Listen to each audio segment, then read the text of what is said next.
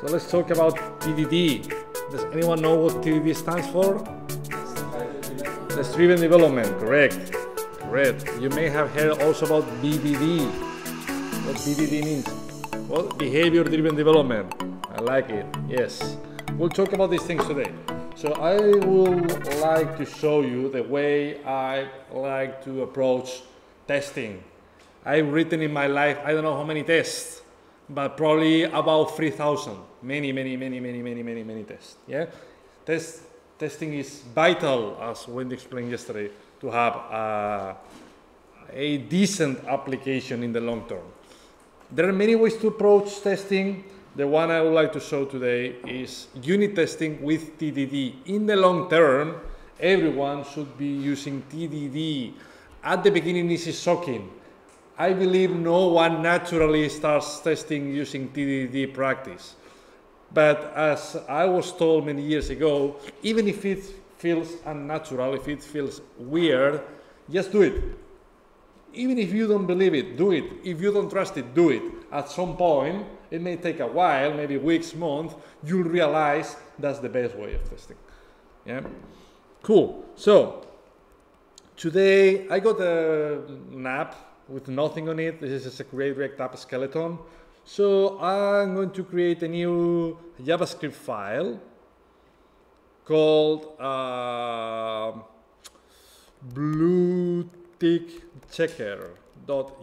So essentially I want to create a function that determines whether you'll get a blue tick or not in the Kodiri platform, according to some parameters.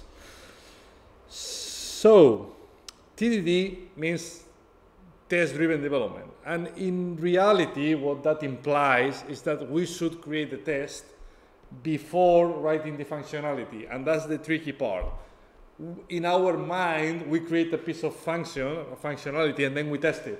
Yeah? If I'm creating a new smartphone, I build it, and then it test, I test it. What happens if I throw against the floor? What happens if I go in, if it goes into the water, right? In software, it works on the other way around. You test something before it exists. Yeah. It's a bit mind blowing, but it has some advantages. I like the idea. It's like a time machine. The, the way, the reason we do that is because if we test things first, you make sure that your code is as simple as necessary. Yeah? It's pretty obvious to see in the long term when you are working with a professional app and you see that the majority of the components are properly tested and everything is okay. Suddenly you realize one of the components that someone wrote a long time ago has 0% test coverage. That probably implies that component is super complex. Yeah? So a very human-friendly way to verify that your code is simple enough is the test coverage. Yeah? So TDD ensures the test coverage is really good.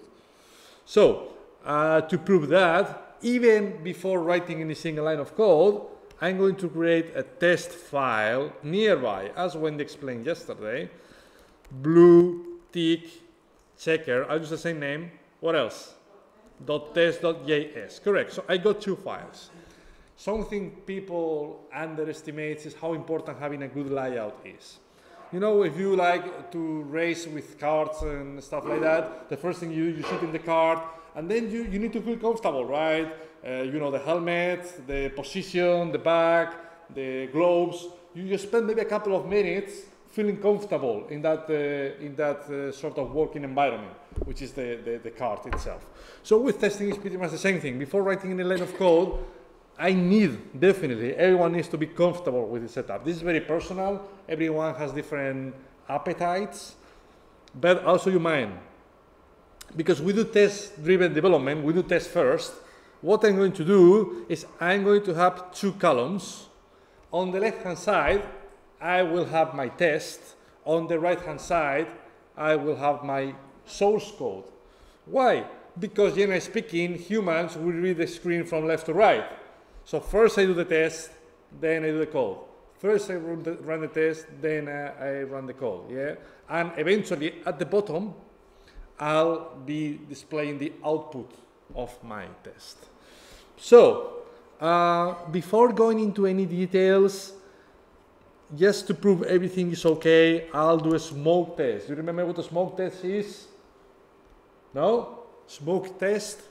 Do you know when you turn 18 years old and you get access to your first car that probably belongs to your uncle or to your grandpa, whatever? It's a very old car, and sometimes the engine doesn't doesn't switch on. So the first thing you do, you try to switch on the the engine by turning the key, and then classic. I think that doesn't make sense anymore. I feel a bit old by telling that story. But generally speaking, if something goes wrong, you go outside, you check from the back of the car, and if there is a smoke, that means that at least the engine is running. If there is no smoke at all, that means the car is there. Yeah. So that kind of analogy that is completely pointless for new, you know, for teenagers, millennial people driving Teslas and you know this uh, kind of uh, stuff. Yeah, it still applies to coding. Smoke test means let's see if my working environment is ready, and then we'll start coding. So what's a smoke test? So I create it, yes, to start doing some coding, and then I'll type um, just testing. Again, I'll delete that in a minute, right? I just want to see if my test runs. So as Wendy explained yesterday, first the title of my test, and then the expectation. Expect, oops, expect true to be true, right? So that test pass or not? Probably, right? True used to be true, generally speaking. So now I'll run the test in the bottom, npm test or run test, up to you npm test, let's leave it there. And what we will next? Look, the test is running, which is good, and then one test passed. Yeah, all good. Of course, let's try the opposite. True to be false. Should fail, right? It does fail. Cool. So that's fantastic because I can see that my testing framework reacts to my changes quickly. As soon as I save the change, the output reflects the outcome of my test suite. So now it's time to play with the blue tick checker. Let's do TDD. TDD means first, let's think on the expectation. So um, first of all, let's import the function. Import uh, player has blue tick from blue tick checker, something like that. So the first thing, my first test will be, um, so returns false if no data is provided, something like that. So then expect when I invoke the function without any argument, by default, players don't have any blue tick. For instance, a player that has just signed up into the Kodiri platform doesn't have the blue tick. Obviously, that won't work. If we pay attention to the outcome, the first thing is blue tick checker is not a function, which makes sense. On the right hand side, we got nothing. But that's the way we work with TDD. We quickly iterate left to right. So on the right hand side, now we need to create a function. We need to export it. And then at least now, let's see what Default function try, export default. Thank you. Export default function, whatever. Yeah. So now if we try that, it fails, but now the error is different. We return undefined, which makes sense, there is nothing on the function, but at least the function exists. So now it's time to check something. So that function is expected to receive an argument, so let's call it uh, user data, yeah, something like that. So then here we can do, if I don't have any user data, return what? False. Correct, return false. And now look at what happened with the test. It passes. So that means the first assertion is correct. And then I got a question for you. More than a question, this is just a hint. You will see thousands of times in your life developers typing should return false. Because of a reason, because of any dark reason, someone decided that was a good idea. That's literally horrible. I massively complain when a developer types should.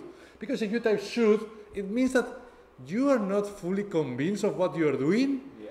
It means should on an ideal world, no, no, no. Test should be bold. You should be absolutely convinced about what you are talking about. In other words, if you tap you type must return something strong, or to simplify things, because all your tests will start with mass, mass, mass, mass, simply type returns. That's it. It's not shouldn't, shouldn't. It, it just returns it all the time, 100% sure, right? So be bold. Once you join your first job interview and then you are asked to do some TDD, that will happen, feel free to point that out, yeah? It's not about complaining if you have to, because for instance, that's also a classic scenario. You join a test, a pairing test, and there is some test written, and one of them doesn't work, and you need to figure out why. Yeah? So it's not about, ah, who wrote that? Not, again, remember to be polite, don't complain. But I think it's a good opportunity to remind that under your point of view, it may be better, that that proves coding culture, right? Cool. So that looks okay. That means I can then go to the next, next test.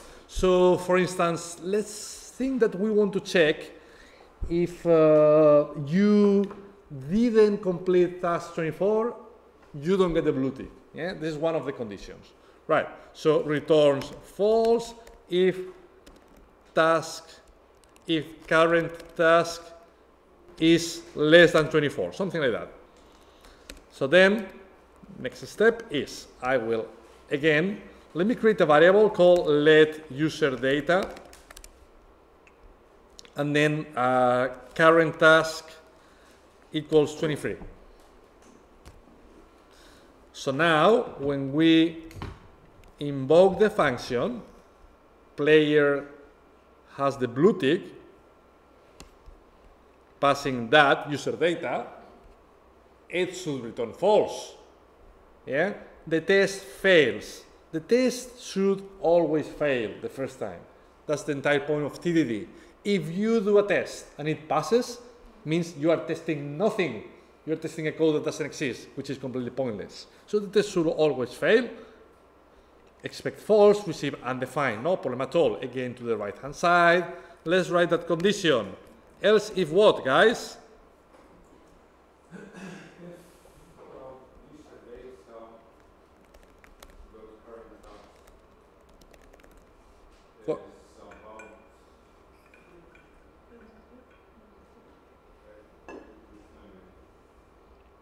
It's about what?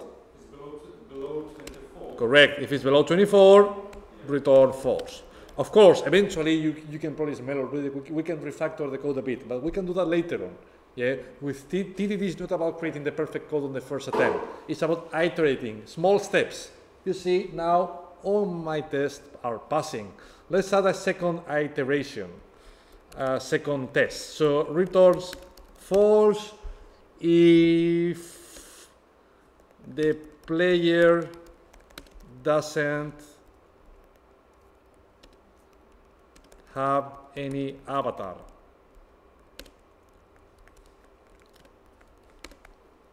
I hope Sula is paying attention now.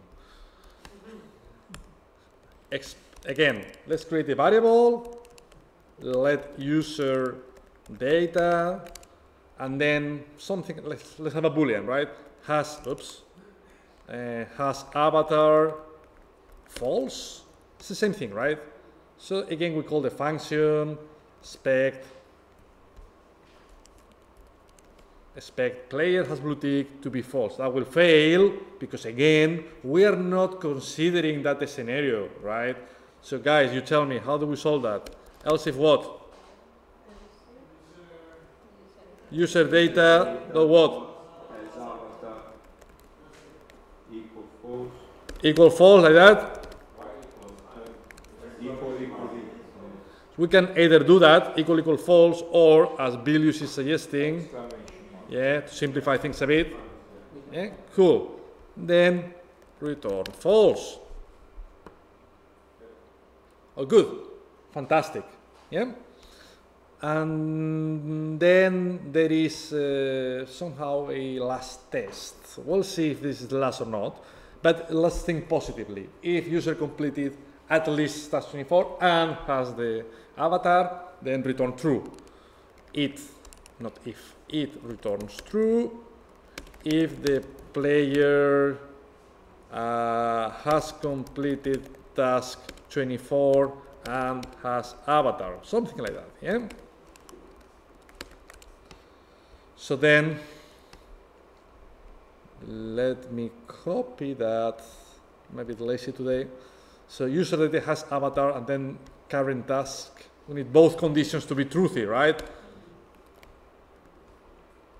24 has avatar true. That should return true. Will the test pass or not?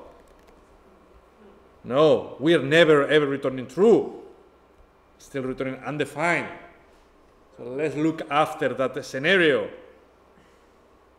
Can we do that? Else, return true. Yeah? I think that will work, right? The thing is, we return false all the time. So if we're still alive here, that means that we got the data, task is at least 24, and we got the avatar. All the conditions are met, and you can see that now the test pass. Yeah? So that's the idea about TDD. However, I'm far away from being comfortable with that code, and I'll tell you why.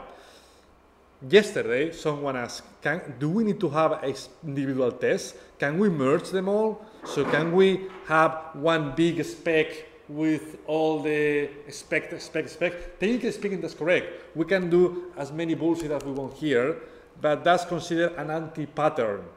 The test should be dry. In other words, if something goes wrong, if I have, you'll have literally thousands of tests. If one of the tests fails, I don't want to mess around if it failed on line number 20 or 21. I want to clearly, clearly see the line that it fails, 18, and also, also, thanks to having individual tests, I can have individual titles. Remember, one of the underestimated goals of testing is to document. Yeah?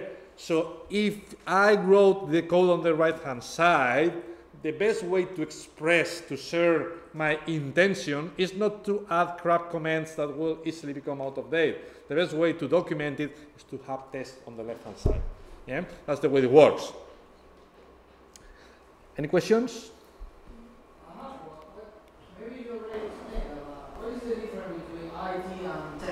There is no difference actually. It depends on the testing framework you are using. In this particular case, we are using Jest. Why? Well, because this is what comes bundled with Create React App. One of the good things about Jest is that it supports React testing out of the box. So you can test your React components, uh, user events, click, on change, all these things. Yeah. Um, there are other frameworks other frameworks like Mocha. Yeah? Also, test at the end is just a compilation of multiple tools. So yes, it's just you know it's just grouping several uh, tools. Um, yeah. So again, every time you switch from Jest to a different testing framework, there is always some small friction. You need to get used to the new syntax. So for instance, here we used to be, yeah, to be with camel case.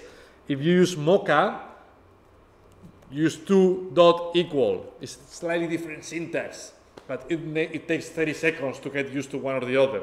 So I wouldn't be that worried. The important thing as the first step is to get used to write tests, and then the syntax is just a piece of cake. Cool. So again, I'm far away from being comfortable with that code. I'll tell you why. I'll tell you why. Because in reality, uh, so, for instance, there is something I'm not actually testing. It may be okay by coincidence, but we are on the unhappy path where, for instance, what, what happens if we're on task number 23, but we have avatar?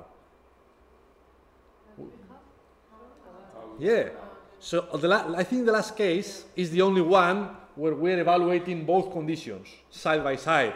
But on the others, we're either missing the last task or we are either or we are missing whether it has avatar or not yeah? So that's not complete. I don't think even though that's okay in reality you should check all the combinations. If you have two properties.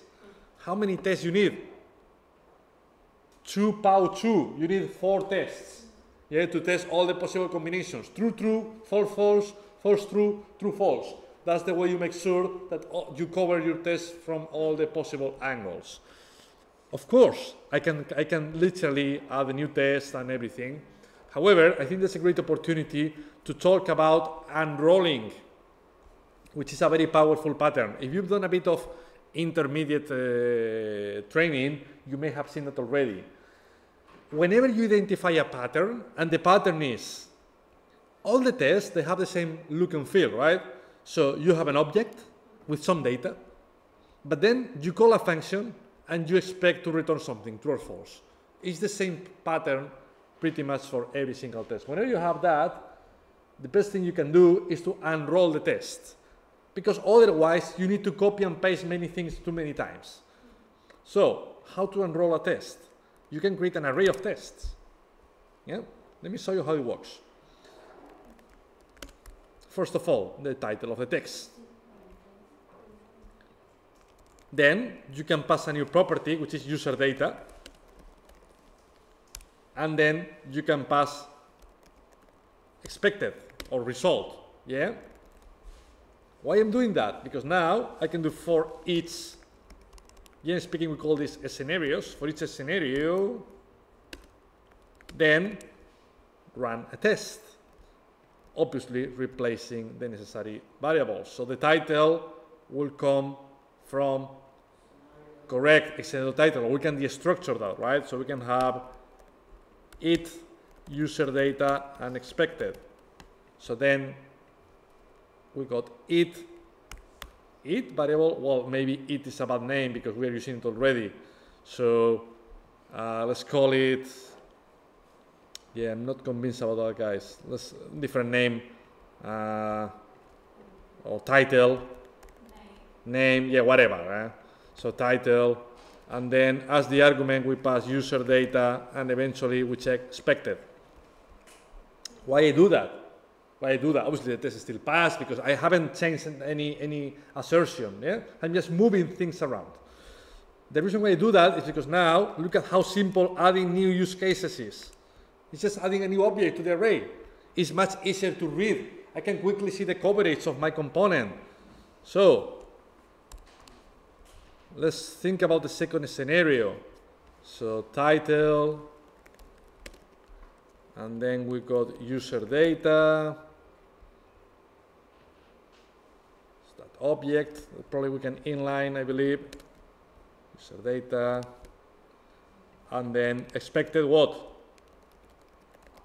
False, correct.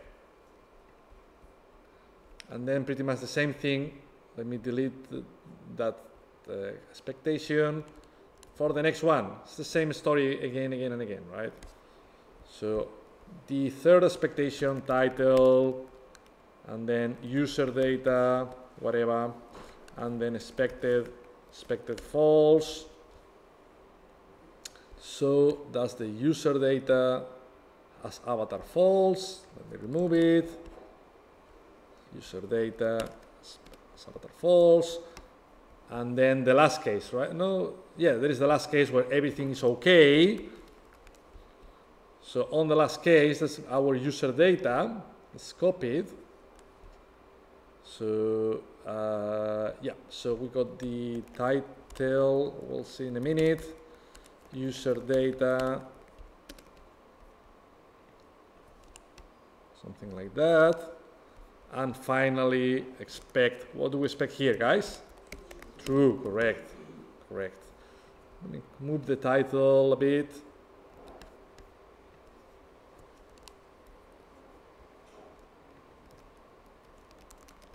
And that's it. Right, so now one of the tests, one of the tests doesn't work. Let's see why. Uh, Number 18, line 18. You're right. Number- expected. Should be expected. expect, oh, you're right. You're right, Pelin. You see, it's a typo here, expected. Correct. And now all the tests pass. Yeah. So to me, this is the ideal way to unroll a test. Because look, you can prepare a good bank of scenarios. And now it's very simple to extend that. So for instance, um, the returns false if the current task is 24. Right. Look at what I'm doing now. I'm going to add a new case that says returns false if current task is about is greater or equal than 24, but user has no avatar. So current task is 24, has avatar false. And likewise, the next example says return false if the player doesn't have any avatar. So we can copy it and say it returns false if the player has an avatar, but current task is below 24. Yeah, you see, I'm dealing with every single combination. So current task 23. And I think that's pretty much it. We got six uh, tests. Yeah, uh, they took 0.2 seconds to run. So running at least unit tests is are very very cheap. Yeah, so don't be afraid of covering all the possibilities. Do we need to do a test with task number one, two, three, four, five, six, seven, eight, nine? Not really, not really. So the important thing is to cover all the lines in the code, and I think we are covered. Yeah. So Now, if someone falls, do you know which one is, is failing? yeah, yeah, yeah. So for instance, if we're failing one of the expectations, Yeah, one of these failed, I got a line which, so Lucia is right at some point, right? It failed number 29, but which one? I got main, you know, which one? If I scroll a bit, look, you got the title, returns false if the player doesn't have any avatar. So then I can see what is the title if the player doesn't have any avatar. Here you go. That's the problem, right? Here's the problem. Why? Okay, if his avatar is false, oh, expected true, no, that's wrong, expected false. And then it works. So that's the way TDD works. And one more thing, one more thing. So in reality, in reality, this is pure TDD, but in the long term, you want to write BDD style, which is behavior-driven development. So BDD means instead of actually checking input output, which is something very techy, try to describe the behavior of your application, which is a bit complicated sometimes. So maybe using things like given, when, and then. Yeah, you've seen that for sure. We do that on the Kodiri platform. So that's a way to explain. Given I got that, when I trigger that action, then I expect something. Yeah. So yeah, we, we can do something similar here. We don't need given. I mean, this, this is very simple, but we can do we can do something when and let has blue tick equals. So when I call that function, then expect has blue tick to be whatever. You see? Again, this, this, that test is very simplistic, but you may have a bit more complicated tests where you need to prepare the data, when you may want to mock stuff, you know, this may get a bit more, more tricky. Yeah. So the idea behind BDD is that anyone in your team, including business people, right, like uh, business analysts, product owner, scrum masters, these people, they should be able to understand the code you've written by checking the test. To be honest, in my life, that never ever happened. But the romantic idea behind is to make more descriptive tests so anyone can see what's going on. Yeah, that's BDD. You may have heard about that, like given, when, then, or triple A, arrange, act, assert. That's pretty much the same, the same thing. Um, any questions? You can use exactly the same pattern for dealing with uh, like asynchronous calls. Yeah, so that's a good point actually. So this covers the very, very, very, very, very, very, very basics about testing. Why? Because the goal of the session is not to explain how to test every single line of code, is to make sure you get used to test. Yeah. Um, so once you feel comfortable with uh, this sort of input-output testing, to me the next step is to start dealing with mocks. I'll give you an example. So imagine that you have a React component that uh, performs a fetch request to the backend. You don't want to perform a fetch request to the backend in your test. That's pointless. The test should be isolated, should be sandboxed. Because of that, uh, we can create mocks. Also, an example, timer. What happens if you want to display an animation after five seconds? You don't want to wait five seconds to run your, your test, yeah? So, yeah, with, uh, with all these tools, we can do testing. There are different ways to do testing. So again, I don't want to be go that far, but for instance, Jasmine, which is one of the testing frameworks and that you can use as part of Jest, you can use Spy-on. So spy means we can uh, mock functions if we need them. In the long term, I will strongly recommend you to uh, have a look to something called Sinon or Sinon, never know how to pronounce that. It's one of my favorite testing tools. It's amazing tool for mocking. Probably one of the most complex aspects in testing is mocking, stubbing, spying. Yeah, so Sinon or Sinon clearly helps on the most complex part of testing. Yeah? And if you do learn that, if you do play with it, don't hesitate to mention it in your CV. Sinon or Sinon is very appreciated because you know Sinon, that means that you know testing, and that's, yeah, as you already know, very important. Anything else? No? So again, the message, please do testing. Whatever you do a function, test it. The sooner you start testing your components, the sooner you'll get a good job. So it's up to you. Yeah, you'll never get a good job without testing skills. So to me, when I've been doing, uh, when I've been interviewing people without testing skills, that's a no-go. I don't mind the attitude, that's a no-go. If you cannot test your code, that means you're going to introduce bugs. Yeah, in the long term, mature projects, in mature projects, you spend a lot of time doing bug fixing. Not good. You don't want to spend your life fixing bugs that someone wrote two years ago. So please ensure the quality of your of your software. Of course, we got the uh, reporters, right? As Wendy explained yesterday, we can uh, see how many lines of your code have been tested. If we run with the coverage flag, then you'll see that uh, sexy table that tells you, you see, I got 100% of code coverage. However, look at what happened if I, for instance, remove the last assertion where we check that you get a blue tick if blah, blah, blah. Number should move down a bit. Yeah, still 100. That's weird. I don't think that's correct, guys. No, but that, that line hasn't been tested, right, at the moment. Uh, hmm, that's interesting. Need to test the test. It is, it is. To test the test. Uh, okay, now it moved down. Yeah. Uh, took a- wait a minute. Now it's, it's not. It's taking a while to reflect the changes. I don't know why. Uh, okay, now, now it's correct. Maybe the first time failed because of whatever reason. Now it's correct. So now you can see. You can see that we are not testing line number nine. And interestingly, look. Oh, you cannot see anything. Look, uh, more or less. And cover lines. That's fantastic. It's telling you which lines of your code hasn't been tested. That's fantastic. Because that means that if there is any bug here, for instance, if I return false, which is wrong, no one will spot the problem. The test will still pass because no one is testing that line. That's why ideally having 100% of test coverage is so important. Yeah? If you have 100% of test coverage, you prove your code is tested and is simple enough.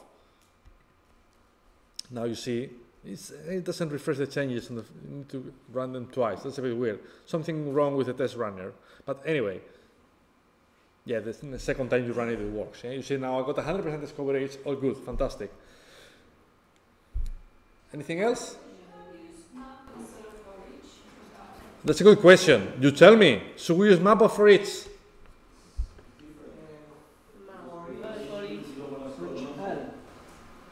Map will return. Correct. We shouldn't use map. It will work. If I run map, it will work. No problem at all. However, the feeling you give to your team is wrong. If I'm reading that code and I find line number 30, I stop trusting that person immediately. Yeah? You don't want to lose trust from your team because it doesn't make sense. Map only makes sense when you want to return something, when you want to transform. I have an array of strings and I want an array of numbers. Yeah? Map makes sense to do one-to-one transformation. In here, you don't want to return anything. You don't have any return statement. You just want to iterate. That's why for each it's much more convenient. Even though both works, performance is probably equivalent, but you know, it's from a readability point of view, it, looks better. Anything else? No? Okay, so then, yeah, yeah, yeah.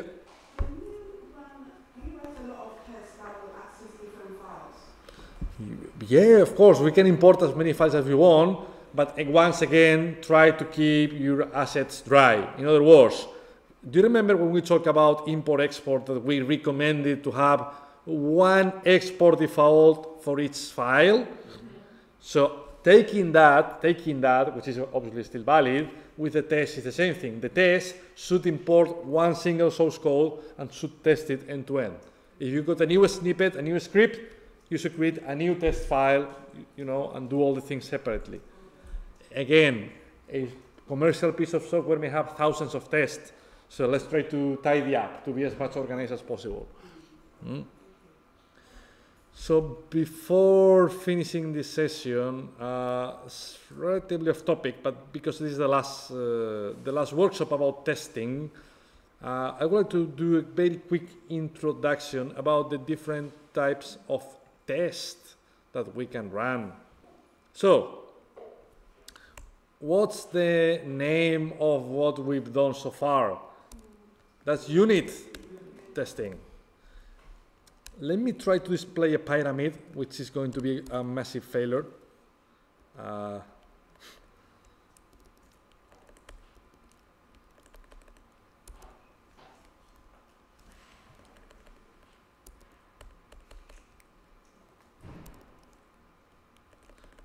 well, I hope you get the idea, right? You know, when you uh, when you want to go on a diet and you go to the doctor and they show you don't eat this thing, eat that, this pyramid of aliment of food, you got that right, the bread and the milk and all these things.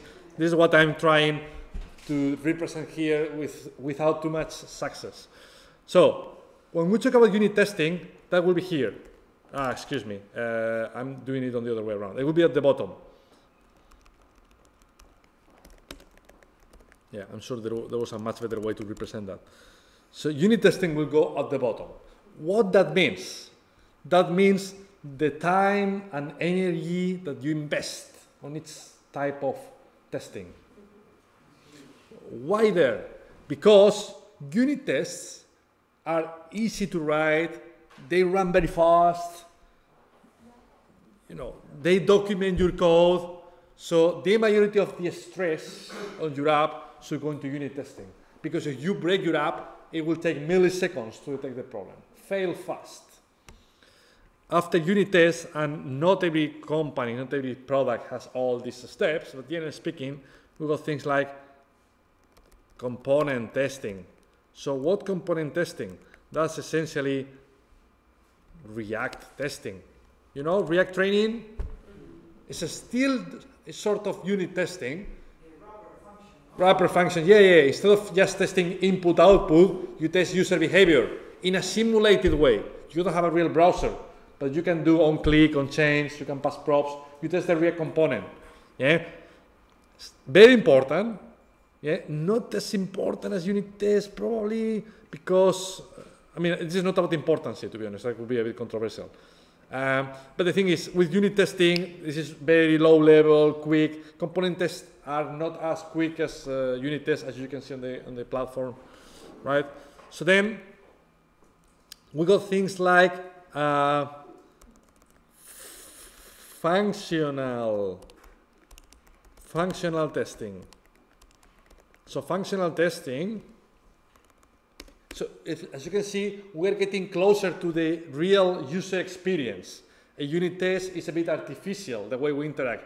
But the more we climb, the closer to real user experience we got. With component testing, at least we do some click, yeah? some eventing, hover. This is closer to what the user expects. So with functional testing, by the first time, we have a real browser. So there are many different tools to use uh, functional testing. You may have heard about some of them, like Protractor, Nightwatch. Uh, but I'll tell you my favorite one, which is very trendy, very trendy, very trendy, is back. Uh, no, this one. Sorry, Cypress.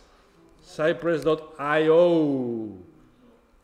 That's one of the best tools I've ever used.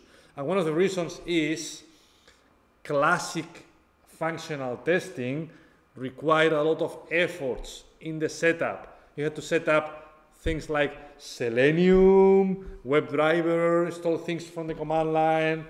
That was always a source of problems, especially when you deal with CI tools. However, however, uh, things like uh, Cypress, they have simplified the setup. Everything is JavaScript based. So they managed to run the test without weird dependencies, so it's much easier to start. I love the syntax. I think it's really good. So we can even maybe try to play that video and then we'll give you an idea about how it works. Cypress is an open source test runner, writing. Yeah, I was just explaining the classic problems.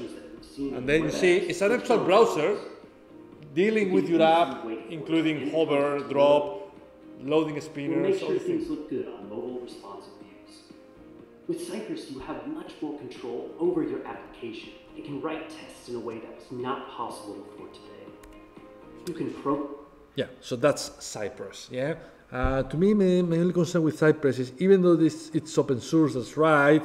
If you check on the details of the website, there are some paid plans. Depending on what you need, you may have to pay for it. Yeah, so we need to be a bit careful. The alternative to Cypress is called Test Cafe. Is the good thing about Test Cafe? It has two good things. First of all, the architecture is very similar to uh, Cypress. So you simplify things a bit. You a lot. You don't need to install Selenium WebDriver. It's very easy to start working with. It's, it's purely open source, so it's completely it's a classic open source project, which is really good. Maybe the only bit is I think the syntax to write tests is not as human friendly as Cypress, but it's still it's a, it's a good tool to consider. Yeah, Cypress and, and Test Cafe. What else? We, we keep going up. On top of functional testing, we got end to end or integration testing, which essentially runs the same tools as functional. So you can use Cypress, you can use Test Cafe, but in here we're actually invoking the backend, which I didn't mention here. So with functional testing, we're mocking. If we need to do fetch to get users, we don't call MongoDB. Yeah, we, we simulate. Yeah, so functional testing is really good to, to check if the front end behaves correctly. If we simulate that we return a list of users, can we display them? Yeah. With end-to-end or integration tests, we really, really invoke the backend. So we go to the database. These tests are more expensive because we need to be careful. For instance, if we are adding a new player into the platform, what do we do with that player afterwards? So we need to play with testing environments, separate databases. Yeah, it's a bit more complicated. But technically speaking, it can run with the same tools as functional testing. And finally, something that is the, the most recent one, and this is what is becoming very trendy, slowly but steady, is CSS or visual regression. That's literally the UI training we're introducing hopefully next week. So this is the highest level in the pyramid because here we don't know about fetch, we don't know about React. We just go to a website, we take a screenshot, and then every time we deploy, we take a new screenshot and we compare the images. We don't know the technology running these websites. It's very, very high level. Yeah. Uh, so yeah, Sorry, Ricardo. Wh- Why the word regression? regression. Yeah. That's the way the know, speaking call it because they check. I mean, to be honest, everything here is regression because with re- regression means we try to break code that used to work in the past. So testing is about regression, yeah. But uh, because of whatever reason, some people call it visual regression. Uh, You can call it visual testing if you want. No, Yeah. So if you go to Backstop, I'm not sure if they got any nice, any sexy video, to be honest. Yeah, I started using Backstop at HSBC a few years ago. Uh, I, I, I thought it was a bit experimental, but the idea was literally fantastic. Um, so, not sure if you can get the idea, right? Uh, actually, I think it's even easier just to play a test on the on the on the even locally, right? So with backstop, and, that, and then we'll call it a day here. So and then you can see where we are on the on the CSS training.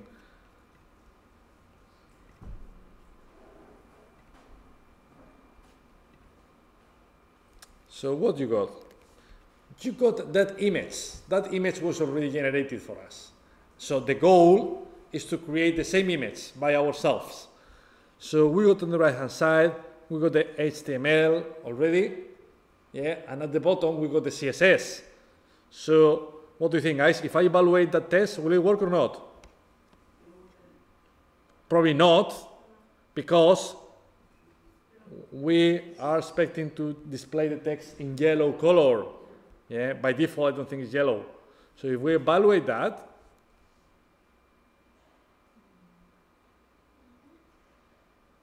it will work faster on AWS, by the way.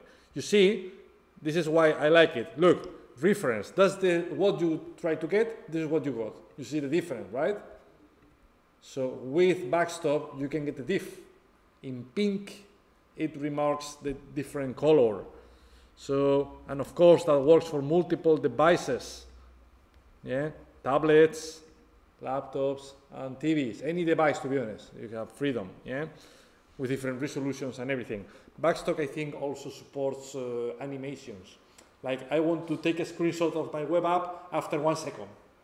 Yeah, or after half a second. So if you have a bouncing ball, you can see that the position of the ball is the correct one after every time. Yeah, we haven't incorporated that yet, but it would be nice, definitely, on intermediate and expert.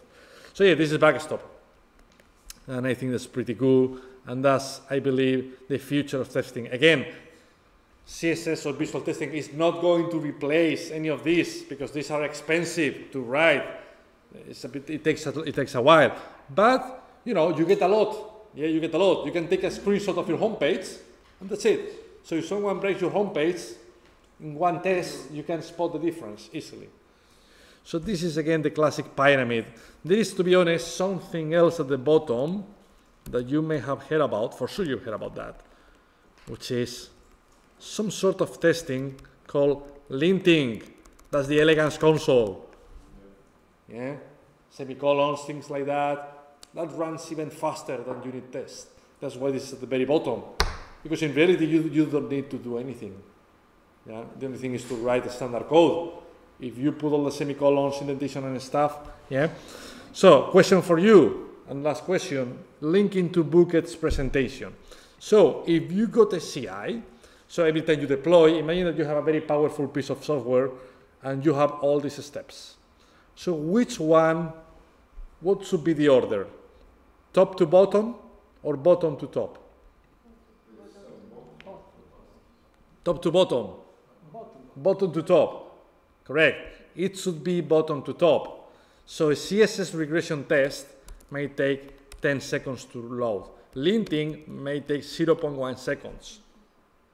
If something is wrong, let's detect the issue the sooner the better, right? That's why CI should run from the fastest to the slowest. Anything else?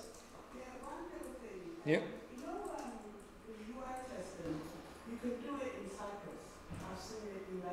UI testing. UI. What do you mean UI testing? In terms of testing to see if the, let's say the and the user. The, the visual. Ah, can you do that with Cypress? Yeah, yeah, with Cypress. Okay, yeah, yeah, that, that's, that's fantastic. I didn't know. Yeah, yeah, fair enough. Yeah, great. It's, yeah, yeah, that's, that's great. Yeah. What is exactly the difference between component testing and, I don't know, like, functional testing? So with, com- with component testing, we don't run a real browser. We run maybe a simulated browser. So component testing is just a JavaScript function that simulates a DOM with React. With Is the one we, we, yeah, component testing. This is this is React training. when Nothing else, nothing more. the behavior of the. Yeah. So unit testing is JavaScript training. Component testing is React training. Both have linting. Yeah. Uh, UI training will be the one on top. Yeah. So we'll be missing these two. Anything else? No. Cool. So that was it, guys. Thank you. Thank you.